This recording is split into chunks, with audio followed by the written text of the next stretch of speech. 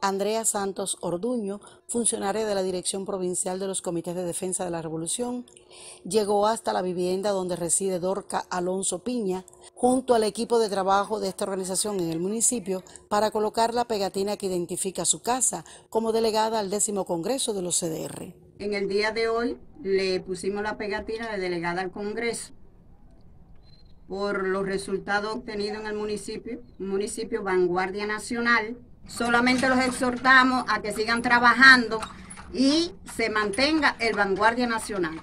Para mí es más que un compromiso, porque emana de nosotros más trabajo, más sacrificio y es resultado de trabajo de un equipo de trabajo del pueblo de Pilón, de todos los cederistas que han dado su humilde aporte a que el municipio sea una vez más vanguardia nacional.